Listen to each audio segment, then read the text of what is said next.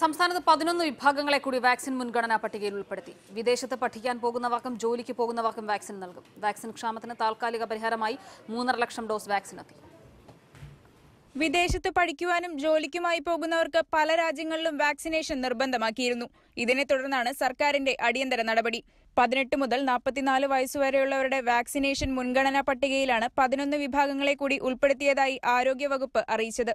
വിദേശത്ത് പോകുന്നവർക്ക് പുറമെ S S L C plus two പരീക്ഷ മൂല്യനിർണയത്തിനായി ചുമതലപ്പെടുത്തിയ അധ്യാപകർ ഭക്ഷ്യ സിവിൽ സപ്ലൈസ് വകുപ്പ് എഫ് സി ഐ തപാൽ വകുപ്പ് വനിതാ ശിശുക്ഷേമ വകുപ്പ് മൃഗസംരക്ഷണ വകുപ്പ് ഫിഷറീസ് വകുപ്പ് എന്നിവിടങ്ങളിലെ ഫീൽഡ് സ്റ്റാഫ് കടൽ യാത്രക്കാർ എന്നിവരെയുമാണ് പുതുതായി മുൻഗണനാ വിഭാഗത്തിൽ ഉൾപ്പെടുത്തിയിട്ടുള്ളത്.